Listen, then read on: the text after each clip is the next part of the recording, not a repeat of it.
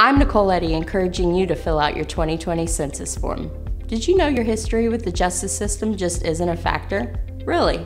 Census numbers determine how much our state gets for things that count, like schools, clinics, safe roads, or community centers. When you don't participate, you lose. We all lose. So fill out your census form, on paper or online, and share with your friends, because the more we're all counted, the more we can do that counts.